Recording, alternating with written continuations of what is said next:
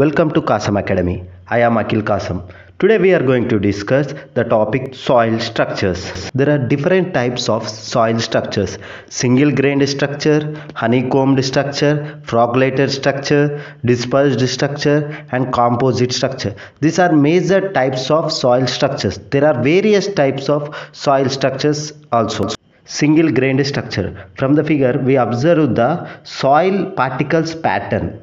This structure is majorly observed in gravel and coarse sand.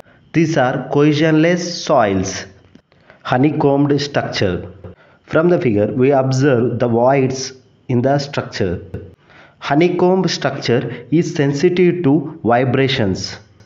Volume decreases due to vibrations. It is also collapsible in nature. Volume decreases due to saturation similar to atta from the daily life we use.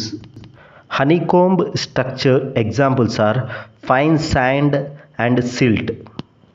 Flocculated structure. From the figure, we observe the arrangement as edge to face orientation and there is a net attraction between the particles and stable in nature and more strength. Due to remolding, the flocculated structure converts into dispersed structures. In dispersed structure, face-to-face orientation and net repulsion between the particles, it is not stable and it has less strength as compared to the flocculated structure. The conversion of dispersed structure into flocculated structure, it is known as thixotropy phenomena. Thixotropy means it is the phenomenon of regaining of lost strength with the passage of time under constant water content is known as thixotropy.